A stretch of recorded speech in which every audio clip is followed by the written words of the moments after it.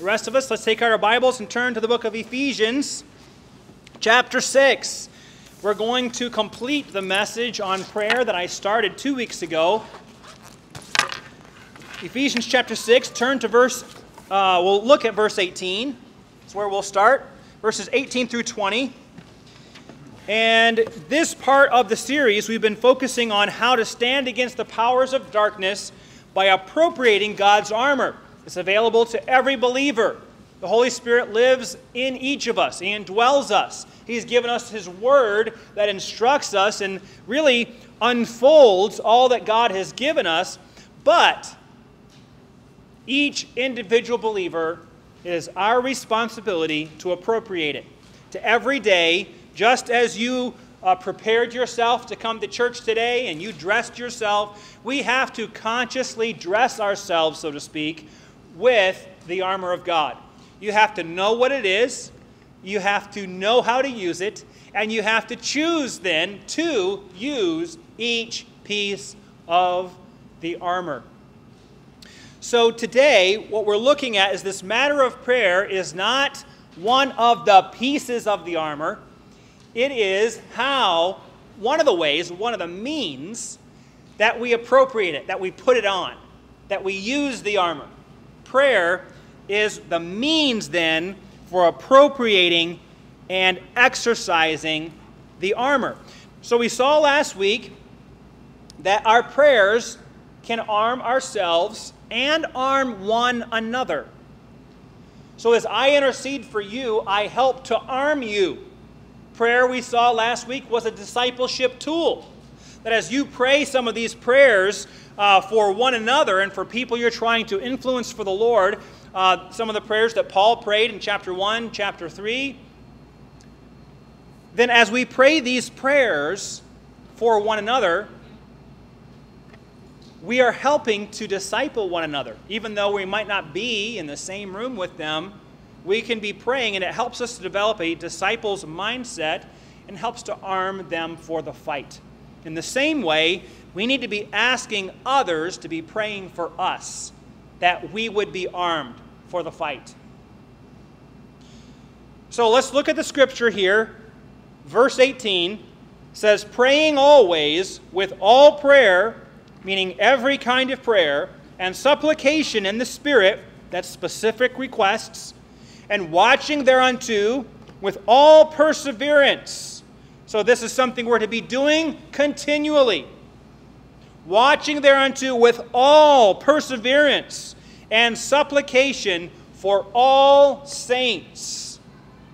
So, our prayers, our intercessory prayers, are to be prayed for one another. We're upholding each other, just like uh, you see in the movies and such. Uh, if you've been in the military, you understand it firsthand. Uh, if, you, if you're, uh, whether you're in the, in the Army or maybe you're in the, maybe the SWAT team or you're on the, the police force, uh, what happens when they have to go into a place of danger? They say, cover me.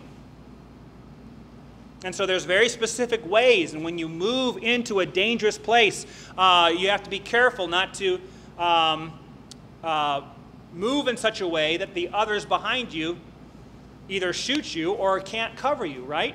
So those behind are providing support for the point man. And really, that's what each of us are to be doing praying for each other, covering one another as we go into harm's way. So he says, You need to be praying always with all perseverance for all saints. This is one of our greatest ministries, one to another, is to be praying for one another. But today, what we're going to focus on is seeking the prayers of others. It is not a selfish thing to request prayer for yourself. The Apostle Paul did. He says, Be praying always, all prayer and perseverance and supplication for all saints, verse 19, and for me and for me. So, asking prayer for yourself is a critical part of your own spiritual growth. That's why we have the church. We are called to be members one of another, dependent on one another. And so it's appropriate, in fact, even a mature response to ask for prayer from one another. That's the sign of a growing, mature Christian. So let's look at how Paul requested prayer for himself so that he could be armed for the fight. And let's draw some specific applications as to how we can follow his example. We've got a runaway. okay. He forgot his what? Oh, he forgot his Bible. Uh oh. Okay. Uh, hopefully, he's wanting to be armed for the fight. He forgot his Bible. Hopefully, that's the, the issue. All right, so here we go. Um, point number one request prayer for your own spiritual armament. He says, Pray for me. He's bringing this whole book to a close. And he's been telling believers all that we have in Christ. But he's not saying, hey, you need to do this and you need to do this and this is for you, this is for you, this is for you, and I'm on this pedestal. That's not the case. Here he is, the disciple maker, revealing he's still a disciple. And he says, I need your prayers for me. None of us graduate to a place where we don't need the prayers of others. None of us do. So, therefore, we ought to follow his example in requesting prayer. Those who ask prayer for themselves are living with an awareness of the reality of the spiritual battle. Those who are not asking prayer for themselves, sometimes it's um, we are not focused on the spiritual battle at hand where we don't realize the need for prayer sometimes. And so it doesn't even come to our mind to ask for prayer. Maybe we, we resort to worry or we resort to some other aspect of human effort rather than first not just calling upon God, but reaching out to someone else and saying, you know what, I need prayer right now. And that's not a burdensome thing. You're, you're not uh, putting a burden on someone that they shouldn't be carrying with you, right? We can be praying for one another. I cannot necessarily carry your burden, but I can help to pray for you. And in a sense, help to shoulder it or help to strengthen you under the burden. And we ought to be doing that one for another. So, asking for prayer for yourself is not a mark of weakness, it's a mark of maturity. Uh, if we back up in verse 18, based upon what, um, based on the context of this, um, this verb, praying always, this really command, we have three different things that we can we uh, that can qualify uh, the way we ask people to be praying. First, ask others to be praying for you continuously or regularly. This should be our regular practice. Why? Because he says, "Pray always." Verse 18. Pray always for all saints and for me. So he's requesting that you be praying always, not just for saints, be praying consistently, continuously for me. That's not selfish to ask for that. Secondly, ask others to be praying for you as directed by the Spirit. He said, I want you praying always with all prayer and supplication in the Spirit. We need to be encouraging one another. You know what? If the Holy Spirit just puts, puts me upon your heart, please be praying for me. I'm going through some situations. Just be sensitive. Um, if the Holy Spirit brings, brings me to mind, please be praying. Third, ask others to be praying for you vigilantly. If the devil is as a roaring lion, seeking whom he may devour, never rests, never sleeps, it just seems the onslaught of evil is relentless, then we as believers need to be relentless in our vigilance, in our prayer one for another. One of the aspects of maturity in general is the aspect of perseverance. Just staying with it, whether that be athletics, whether that be in work, whether that be in school, whether that be in certainly spiritual endeavors, a mature athlete or uh, someone who's having success in their business or in their career or their field is someone who has persevered and continues. Many battles are, are just won by sheer attrition being the last one standing.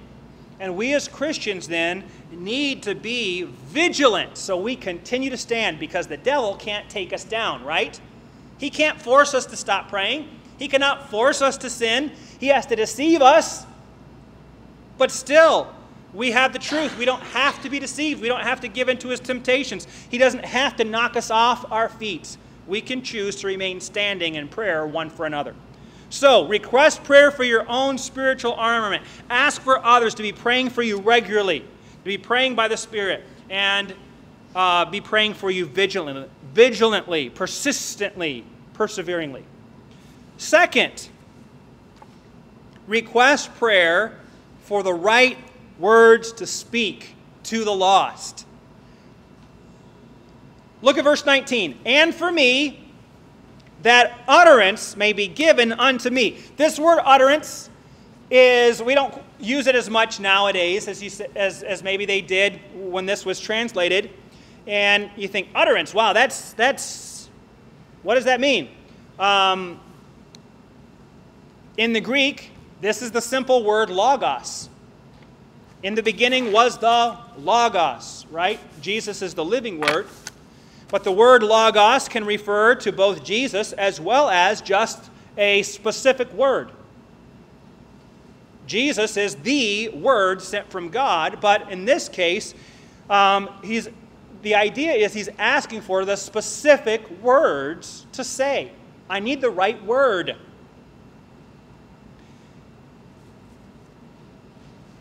he's seeking the, the right, the specific words to say. Um, when we're witnessing to others, and especially when we're new at this, but Paul was by no means new to being a witness, and yet he's still praying for this. But wh- what do we often pray for? Lord, help me, help me to say the right thing. Give me the right words to direct this conversation to the gospel. Give me the right words to um, maybe counteract the false beliefs of this individual, to point out lovingly and compassionately that Jesus is the only way. There is such thing as a right and wrong way to declare the gospel. Sometimes we can do so in a very uh, prideful way, sometimes a um, brash way, maybe a, a way that's, that's less than compassionate. It's very easy to do. In fact, folks, let me tell you, it is far easier to minister the gospel in the flesh than in the spirit because the flesh is natural. But to declare the gospel compassionately, where it's not, folks, Christians have turned a witnessing opportunity into a screaming match. That's not that's not the way it's to be done. There's a right and wrong way. And the Apostle Paul is saying, I need the right words. Pray for me that I would have the right words. So, Paul is seeing the need that we need God to be with our mouth. Remember the, um, this, the account of Moses and Pharaoh and God says, I want you to give my message to Pharaoh. And Moses says, I can't speak. I'm afraid. And here he had been trained in all of these ways of the Egyptians. And if any, anyone should have been able to speak well, it would have been him. But when it came to speaking for God, he felt like he couldn't do it. It just shows how our own resources are really so inept when it comes to trying to be a witness and trying to do something on a spiritual level. This is something that's, that's, that needs spiritual empowerment. And God promised him this Exodus 4, verse 12, I've got it in your notes. God said, I will be with thy mouth and teach thee what thou shalt say. I will be with your mouth. We need prayer, asking God to help us. You know, whatever you're passionate about, folks, very passionate about, it's much more easy to speak about it, correct? Uh, because it's your passion, it's what you've thrown so much time into, it's what you believe, and you, you believe it so deeply, and you want others to know it too. And because you're so passionate, sometimes it can be easy to just rest on your own strength. And sometimes try to force the gospel down someone's throat or force someone to agree with a point that you're making. When we're not the convincer, that's the Holy Spirit. And we need to be saying, Lord, please be with my mouth. Please direct what I say. Please keep me from saying something that's going to throw up an, an, an, an unnecessary barrier to the gospel. The gospel itself is offensive. We don't need to be adding to the offense of the gospel. And we have to be so careful. So, how do we word this into a prayer? We need to be asking one another, please pray that God will guide my mouth and teach me what to say. This needs to be part of our continuous, continual progress, process. Is this part of your daily life? This needs to be part of our daily pattern because it's something we're to be always doing. This should be a discussion then we're having regularly with those closest to us, with husbands, wives, children, those here in the church. Luke 21 14 through 15. This is a great counterbalance. Luke 21 14 to 15, Jesus told the disciples, Settle it therefore in your hearts, not to meditate uh, before what you shall answer for I will give you a mouth and wisdom which all your adversaries shall not be able to gainsay nor resist. So, there is a possibility of overthinking. I'm the kind of person that uh, initially, I, uh, growing up, I hated the phone. Absolutely despised it.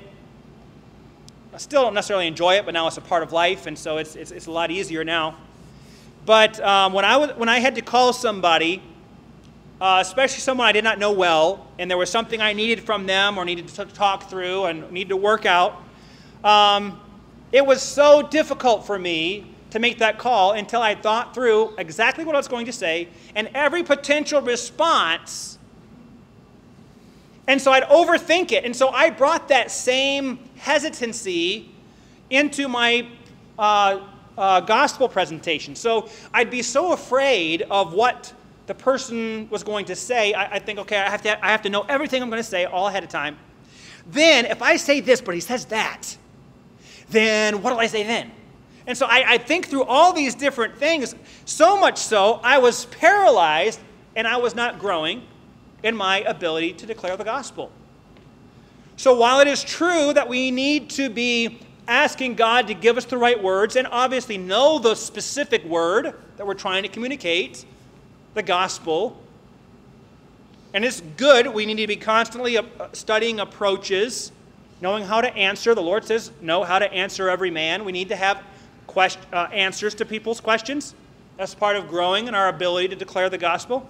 While that's all true, it is also possible to overthink things and rest then on my, my, my um, my ultimate trust is coming in my own understanding. Well, I can't give it yet. I don't understand perfectly enough. No, that's my ultimate trust is not in how well I understand the gospel. My ultimate trust is the gospel is the power of God, and I need to declare what I know of it. And let God do the rest. In a sense, it'll always be incomplete because my knowledge is always incomplete. There's no such thing then as a perfect presentation of the gospel, but there is absolutely a spirit empowered presentation of the gospel. And that's accessible for anyone of any spiritual growth, like the woman at the well.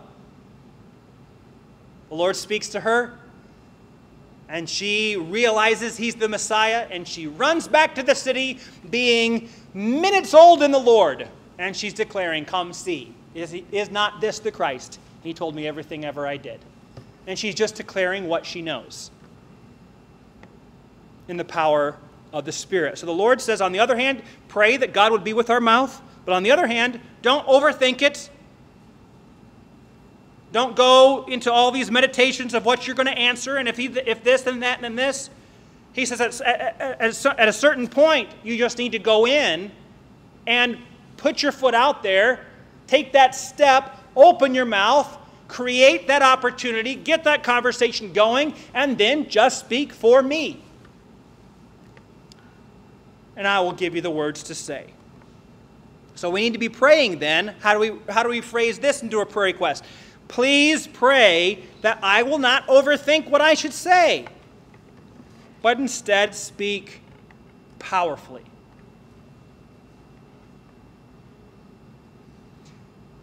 I remember my dad modeled this for me. Um, especially when, when we were older, I remember this very clearly. Uh, when we lived in Wisconsin, we lived in two different parsonages. I remember my dad took great pains to develop a relationship with the neighbors, and then at some point he would say, Okay, family, pray for me. I don't have any visits lined up for tonight. We had a Tuesday night soul winning. Say, I don't have any visits for tonight. I'm going to be going over to so and so's house with the goal of sharing the gospel with them. Man, that was a real prayer meeting. We'd be praying for supper. Dad be, would be excited about it, but he'd also be uh, kind of um, a bit fearful as well. And I can remember one time in specific, I was probably in high school, and Dad said, Today's the day. Be praying for me. So we ate supper. Then Dad went upstairs to his room. And I went in there, and it was awesome. Dad, Dad was literally sprawled out on the bed, just looking up at the ceiling. And I knew he was praying.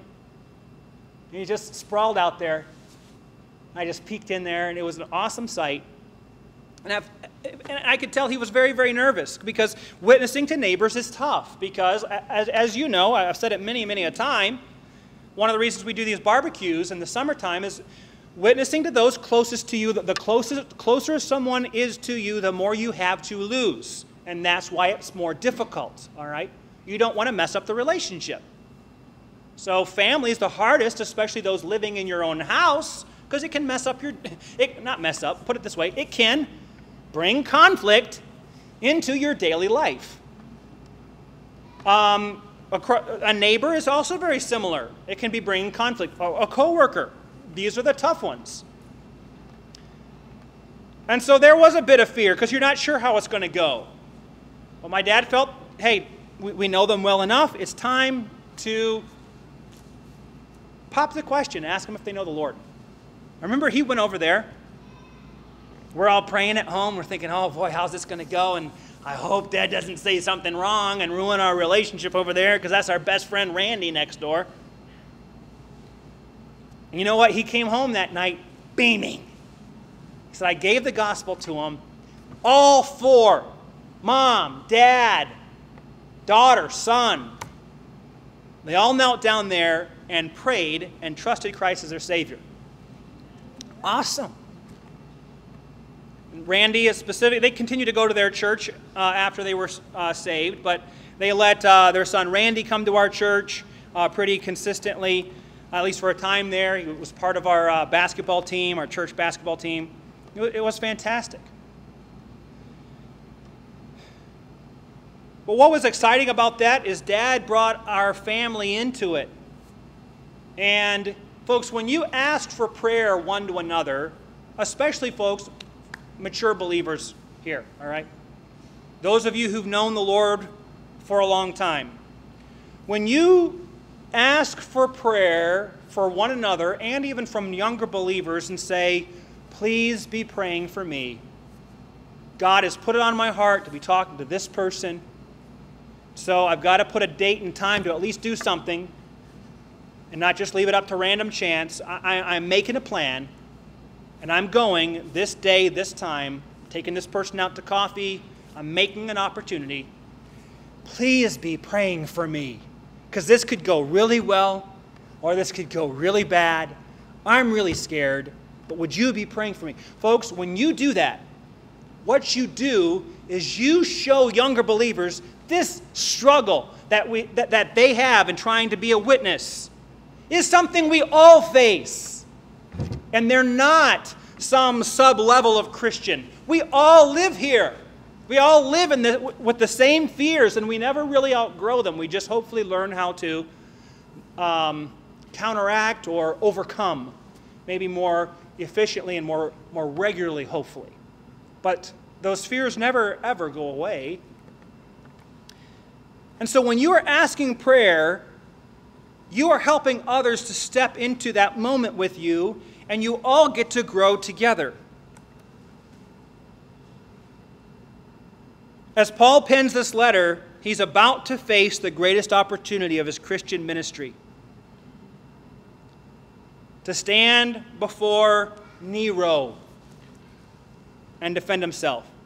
This is the man who hung prisoners, many times Christians, from a rope, not around their neck, but often around their arms. He'd dip them in tar and light them on fire while they're alive. Talk about a horrible way to die, and they're hanging there on fire, and he'd light his gardens with that, which was, was crazy. The stench of that would be horrible.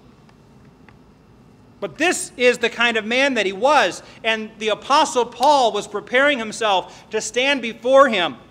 And while he had to be excited, in one sense, we know he was, because he'd always wanted to take the gospel to the very highest levels in Rome. He wanted to give the gospel to the Caesar if he could, but another part of him had to be terrified because it could also go very, very badly and result in extreme bodily harm and torture and pain. And so he is asking then, here he is in prison. And folks, I'm, I'm, I'm so convicted by this. You know what I would be praying if I was sitting in prison about to face Nero? I would be praying for an earthquake like we had with Paul and Silas that shook the prison and allowed my, my, my, my chains to fall off so I could get out of there. Start a new Roman church and a Philippian jailer running in saying, What, you know, Roman jailer, what must I do to be saved? He didn't pray for his freedom. He did not pray for uh, his physical protection, which I also would have been doing. I'm about to speak before Nero. Please pray for me. He didn't do that. Not to say that those things are bad. What was his primary focus and should be ours as well? So, all those other things should be secondary. His primary focus was this be praying for me that I would have the right words when I speak before Nero. It had to be clearly, clearly at the forefront of his mind.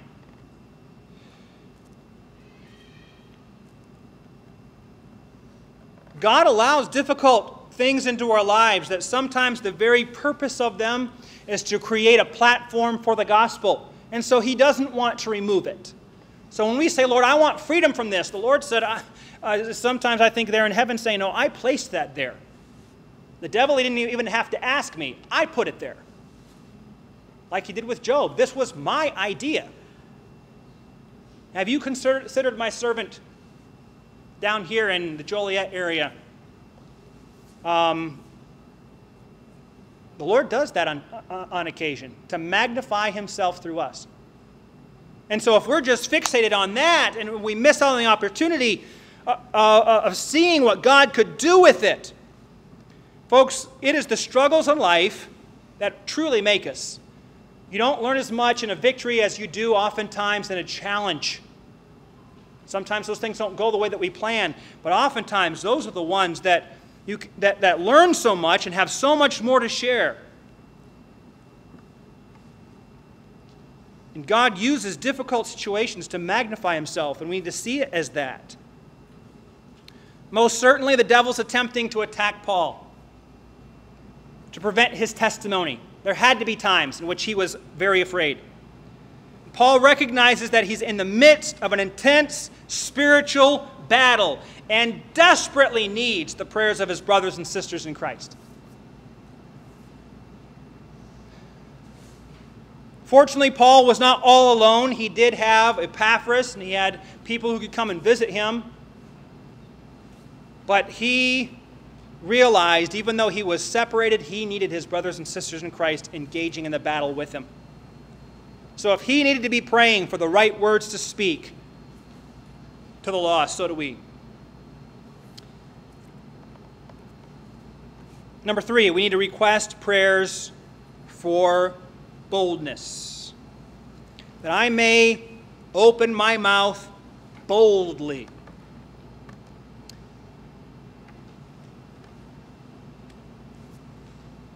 As I ought to speak. so, second, third here, request prayers for boldness. It's interesting that Paul twice asks for prayer here for, for boldness. He says it there in verse 19, and he says it again in verse 20. He says, For which I am an ambassador in bonds, that therein I may speak boldly. So here he is, the Apostle Paul, with so many gifts, and here he is an apostle. He's writing scripture. You'd think if anyone would have natural boldness, it'd be Paul, and yet he says, I don't. I need boldness, and he asks for it twice. So if Paul needs to be praying for boldness, you and I do as well.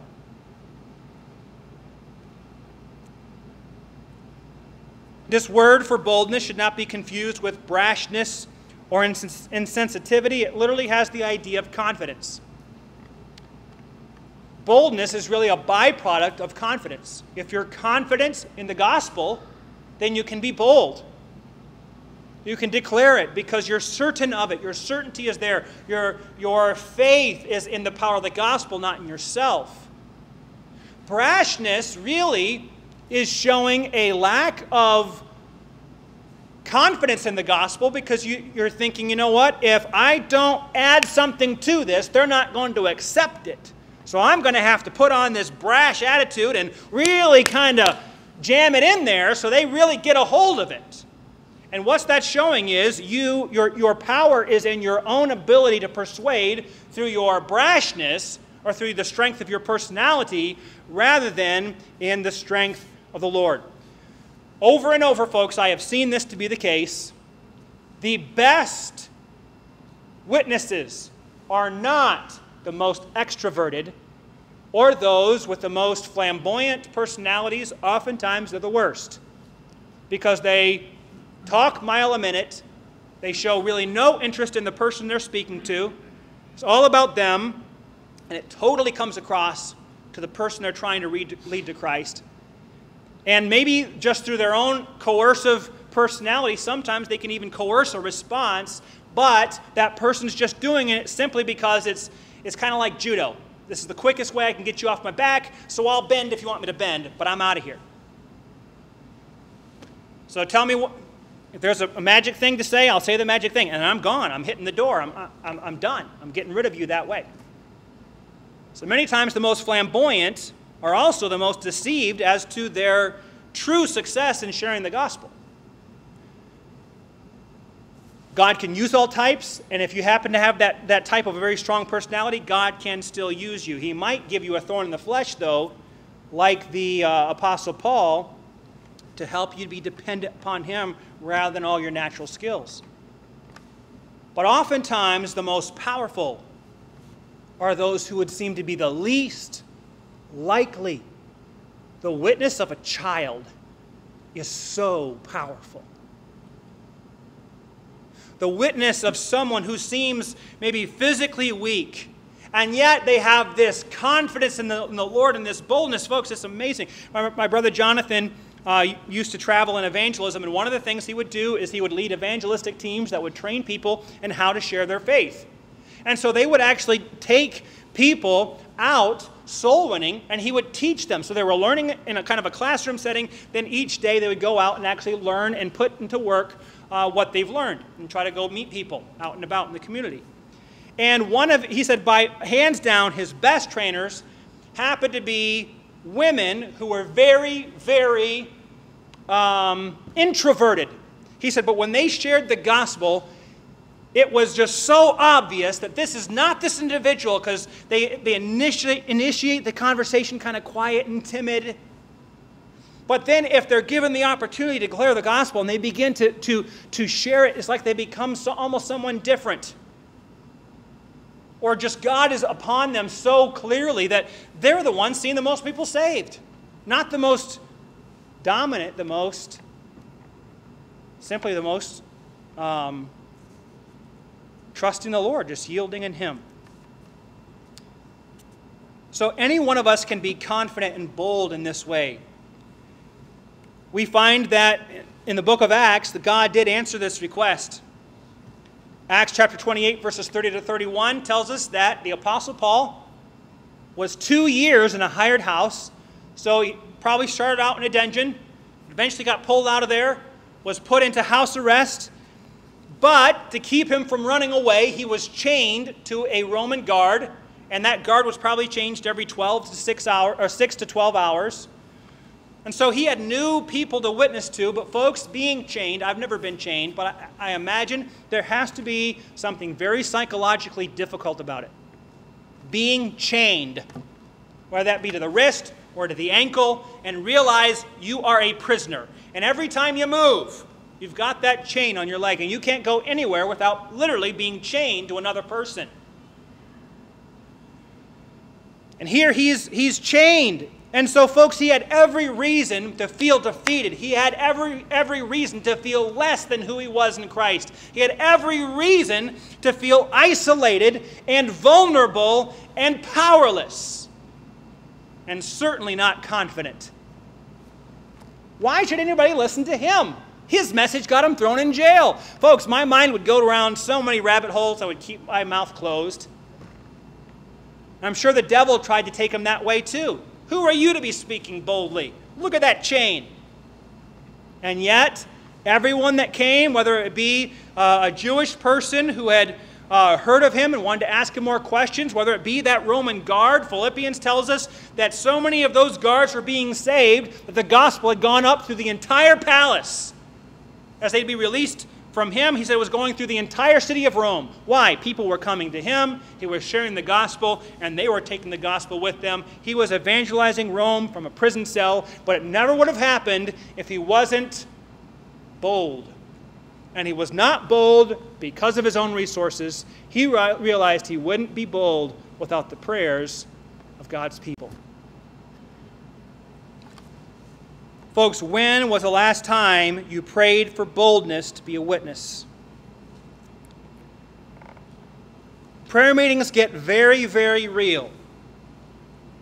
When we are praying, when we come together and we say, okay, please be praying for me. As of this date, I'm taking so and so out for coffee. Please be praying for me. I remember uh, I share this often when I'm preparing our church for the barbecue season. I love this season because prayer meetings get really real. You're about to invite all your neighbors. So we're, if you happen to be a host home, you're saying, please be praying for me. And I love that because you're praying for boldness and give me effectiveness. But then in the follow up as well, it's so powerful because you find out about needs that you can minister um, the gospel with. Not every time, but especially as you keep with it, keep sowing seeds year after year, God gives opportunities. I've shared this story before, but it, it, it's, it's, it was such a thrill for me, and I, I hope will be an encouragement. Maybe some of you haven't heard it. I remember a man by the name of Frank, some of you met him, came to our barbecue, and he told me, second year in, this is our second time doing it, he said, You know what? Thank you so much for doing this. Tears coming down his cheeks. He said, This is probably my last barbecue. I said, Really? He said, Yes, I don't, I don't have much longer to live. And I said, Really? I did not know that. And immediately the Lord says, He's top priority number one. You've got to get back to Him, and you've got to get back to Him soon. Well, I let too much time go by because uh, we had numerous barbecues we were doing that summer. It wasn't until maybe a month or two later, and I finally I was convicted. I told my wife, I've got to do this. I told the church that Wednesday night prayer meeting, and whoever was there, you remember it. And I said, please be praying for me. This Saturday, I'm going to Frank's house, walking down the, down the, uh, the, the, the block. Please be praying that I can witness to him. So I got my materials together. I had my Bible. I had, I think, the Exchange Bible study as well. just in case. It doesn't work for everyone, it, it does work for some. Um, but had my materials together, was walking down that sidewalk, and before I could cross the street to his house, saw his best friend across the street, Frank, uh, uh, Joe, and you have met him too. He's been to our church numerous times. So Joe's in his, in his yard. We've got Frank, who I was planning to visit, but Joe's standing there, and he says, Hey, Nathan, so good to see you. He said, Hey, can I get you some water? I said, Sure. He said, Come on in. That's never happened before, it's never happened since. I thought, okay, I had other plans, but the Lord's redirecting me. So we go in, we sit down at his kitchen table with really no agenda. He wasn't going to show me anything or talk to me. So I said, well, the reason I was out today, Joe, is I was going to be, you know, at the barbecue, Frank told me he doesn't have much longer to live. He's like, you're right. He said, it's, it, it's very sad. He's very sick. I said, well, the reason I'm going to talk to him is because I've never shared with him how he could know for sure he's on his way to heaven. How he can have his sins forgiven, have a relationship with God. And he said, Oh, he needs to know that. He said, I'm so glad you're going to do that. I said, Yeah, that, that, that's actually what I was on my way to do today. And I said, You know, Joe, I've actually never asked you. Is that something that you know for sure if you were to die? Would you be confident that you know that your sins are forgiven, that you'd have a relationship with God, that you'd have a home in heaven? And he said, You know what? Something that my wife and I have wondered for years. He said, We don't know. I said, Can I just take the, I'm going to take the Bible and show you? The book of John, John chapter 3, how you can know for sure? He said, Yes, I'd love that. And in the process of time, I shared the gospel with him. He understood it. He said, I want to wait to make that decision until my wife is here. She's gone today. He said, But, he said, We'll do this again next week, but I'm going to walk you over to Frank's house right now. We walk over to Frank's house. Joe knocks on the door. Frank comes to the door. He says, Hey, Frank, look, this is Nathan from down the street. Remember, he had that barbecue? And hey, he has a message that you need to hear. You better let him in. So Frank's like, come on in. We sit down. And after about two hours, led him uh, to Christ. Come to find out later, another one of the neighbors, uh, Kelly, had witnessed to him numerous times planting seeds, and he had always put up walls. But God gave me the opportunity to, to, to, to reap a harvest that other believers, another um, neighbor down the street had been planting seeds in, uh, uh, of the gospel in his heart, and I got to reap. Awesome. And then uh, a week or two later, was able to lead Joe and his wife to Christ, and they've been to our church numerous times. Well, folks, it never would have happened if I had waited for them to come knock on my door and say, Could you please tell me? Folks, they don't even, they don't know what their need is fully, and they, so they therefore, if, if you don't know the question, how can you know the answer or who has them? And so it is our job then, folks, to put feet to our prayers and take the mystery out of it. It's not mystical. Yes, you do pray for God's leading, but at some point you have to make a plan and follow it.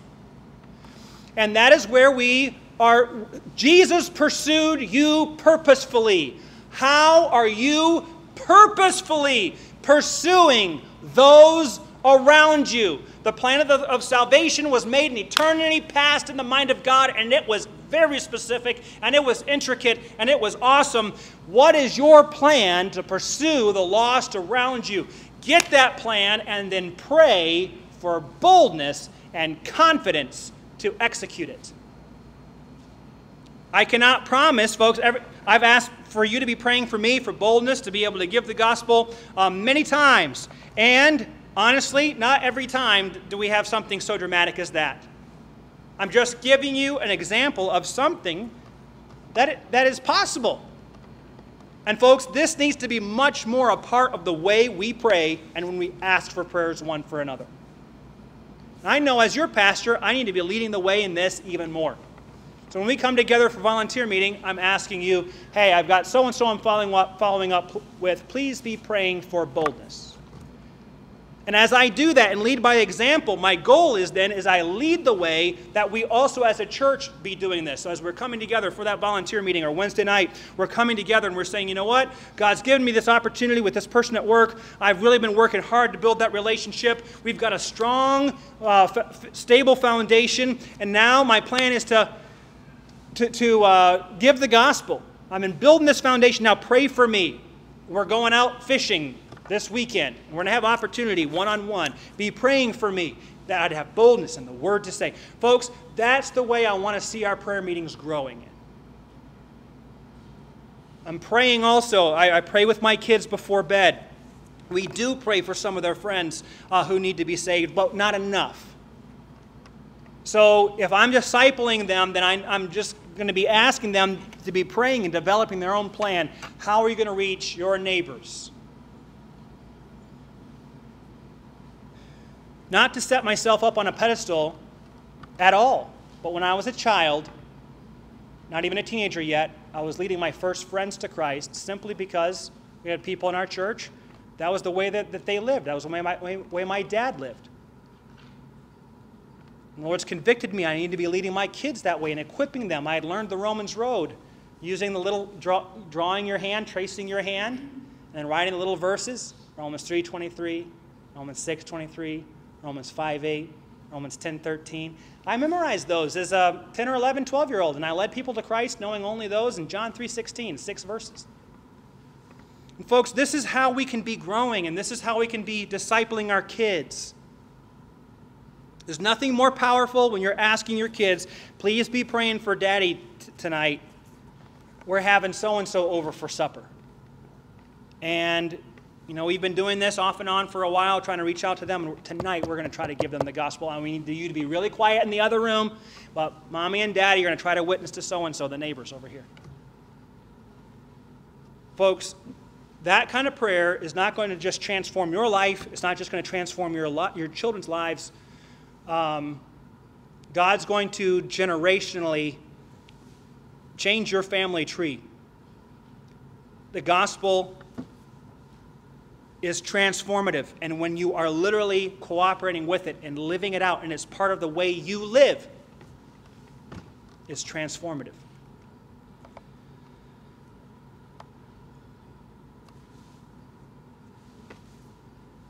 Time is just about gone. Man, let's try to hurry this up. I, I will let you go quick. Um, prayer for request prayer for effectiveness. He said that I may um, that I may open my mouth boldly to make known the mystery of the gospel. This mystery is an expression from the book of Daniel, refers to God's overall work of redemption. It's summed up in the person of Jesus Christ. It's revealed to us now, and we call it the gospel. So we ought to regularly request prayers from others to proclaim the mystery of the gospel.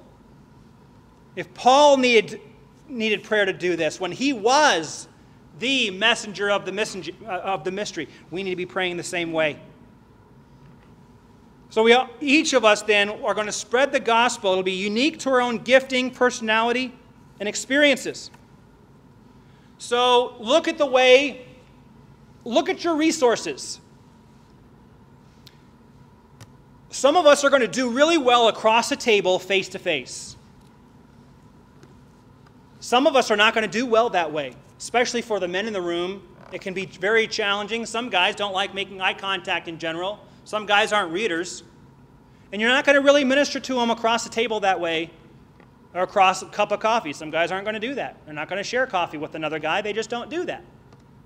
So maybe the way you're going to reach that guy is maybe you're good with your hands, maybe you're good with a car, maybe you can use that hobby to bring someone into your life. Maybe find someone with a similar hobby and develop a relationship. And just as you are shoulder to shoulder, maybe fishing, maybe whatever you're doing, you're shoulder to shoulder. You're both doing what you're doing, but you're talking about the Lord. God's going to give you men. If you're looking for those shoulder to shoulder opportunities, God's going to give them to you. I'm a teacher. I'm very comfortable face to face and sitting down and with people. That's kind of the, the way I like to do it. But you don't have to do it that way. Look at the way God has gifted you and use it. The important thing is take what's in your hand and use it. Take what you have and use it. How are you using your gifts, your life experiences to resonate with others and pull them in? I'm going to throw this out too. Um, this is, hey, hey, hey, hey, I get to live this one out right now. Hallelujah. um, there is here in this community, uh, and in fact nationwide, something called F3. It is a men's fitness group. It stands for Fitness, Fellowship, Faith. It was started by a believer down in North Carolina, a man from the military. He created this. It's, it's non denominational, it's not led by a pastor. Um, but it's a loose framework, which would be which is men getting together in the mornings, early mornings. In this area, I think Monday through Friday is 5:15 to 6:15. On Saturdays, it's usually 6:30 to 7:30. They just started a new chapter that uses this this facility. I found out about it because they reached out to me. They said, "You're a pastor. You probably know the principal and the uh, the superintendent. Can you put us in touch? And then can you join us?" And what I find out about this group is the guys come initially for weight loss, so it's guys of all ages all weights. There have been some guys uh, in their 60s, uh, maybe older. Some guys that are like over 300 pounds. Everybody just does what they can through this exercise thing, but it's very regimented. It's an opportunity to develop leadership, but I see it as an awesome discipleship tool. Six or eight weeks in, you're able to, uh, if you want to, they actually ask you to lead an, a, an exercise, and then you get to give a, a brief uh, challenge at the end. And what I found is many of the guys get into it because they have no church. Many of them have a religious background but no church. And so they're, they're hungry for a, for, a, for a tribe, so to speak. So they come to this because they're hungry for that fellowship aspect. They said what, what, what, what kind of bit us was the fitness, but what's keeping us here is that fellowship aspect. And the faith aspect, they're not so into except for maybe as, as far as organized religion, it's more about serving the community, which is great. But I've found many of them are not believers as far as born again believers. And it provides a fantastic opportunity. I want you to be praying for me as I go out on Saturdays, developing relationships that by God's grace, I mean, afterwards, the guys love to stand around and talk around coffee 15, 20, 30 minutes on a Saturday, and it's just awesome. 12 guys, all different fitness levels, and the, the, the conversation goes any number of ways. It's fantastic. I would encourage you, there might be one in your area. Um, if you wanted to come and join me on Saturday, uh, Saturdays, let me know. But it's a way to build a, re- a relationship. I'm not going to hijack that, and the challenge is only two or three minutes, so it literally has to be something that piques someone's interest and hopefully will lead to conversations later. But, folks, this is what we need to be doing finding something. I love fitness. So, and I have some time on a Saturday morning at 6:30 to 7:30. This is something I'm going to jump into, and it's a way to my boys at teenagers are going to be leading other men in a workout and speaking to other men. It's going to be awesome. It's a discipleship tool for me to disciple my boys, and it's a way for me also to be reaching my community. Um, fitness might not be your thing. The goal is find something that is and leverage it for the gospel. You like to work on cars? Do it. Bring someone along to work with you that you know is lost. And uh, maybe if you're not so good at, the, at, sharing the gospel, maybe bring someone who also likes to work on cars but is a little better at sharing the gospel than you and see if two of you on one can help to bring that person to Christ. It's a team effort. Five, I just have to say it quickly and then move on be praying for a gospel identity. He says, Be praying for me that the word would be given to me. I may be, be able to speak my mouth boldly to make known the mystery of the gospel, for which I am an ambassador in bonds. Folks, without seeing yourself as a primary, primary identity is not um, what you do, it's not your stat- station in life. It's not whether you're single or married. Your primary identity is a Christian. Being a Christian. And you have to cultivate that and foster that. It is not just to be a Christian, it's to be a spokesperson for the Lord, ambassador. The only way that you develop that is to be constantly developing the mindset. 2 Corinthians 5:20 says, "Now then we are ambassadors for Christ, as though Christ had beseeched you by us. We pray you in Christ's stead, be ye reconciled to God. That is our job." Quickly here, number six. We will not do the job if we don't first see ourselves, and that takes daily cultivation. Six, request prayer for perseverance in the face of opposition.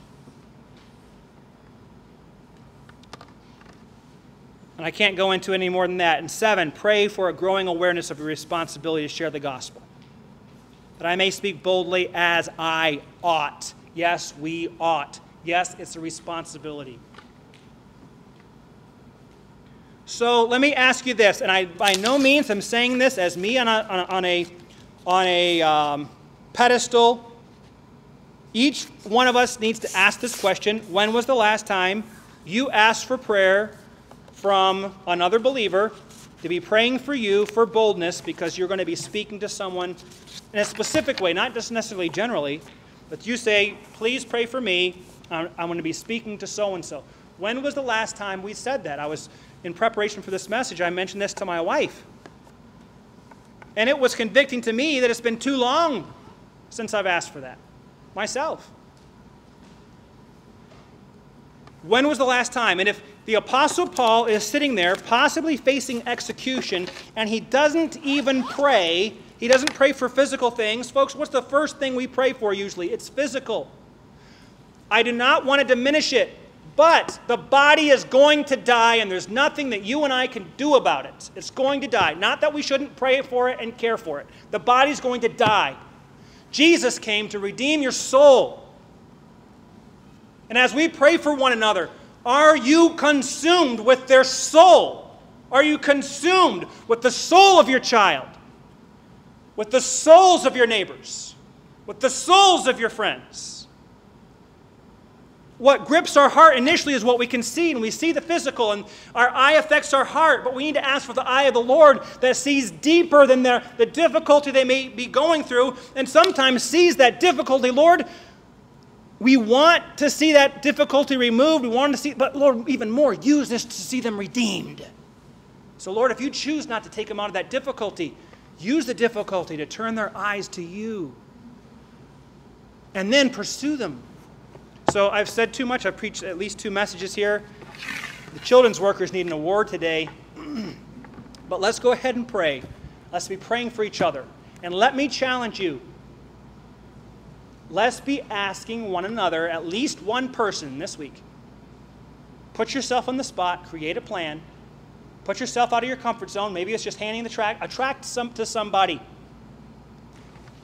Take an opportunity where, you're no, where you know you're going to be crossing paths with an unbeliever and talk to a Christian and say, Pray for me. I'm going to hand this track, or I'm going to invite this neighbor to the church, and I'm going to do it on this day at this time, and here I go. Or maybe here's a phone call, pray for me, or a text, pray for me, here I go. And then keep in contact with that person and do it. And come back. And if you fail, you pray with each other and you encourage each other, you strengthen each other, and you go and you do it again. Failure does not mean you stop. Failure, failure means you learn. It's another admission I'm human, and this is a fight and this is a struggle, so I'm going to double down. I'm going to go and do it again. And in perseverance, you mature. But do it and don't do it alone. There's no superhero Christian. We do it with others. Request prayer this week, very specifically. Let me challenge you with that. You want to ask me? I would love to pray for you. Whoever, choose somebody specifically, one on one, call or a text or something, and let's do it.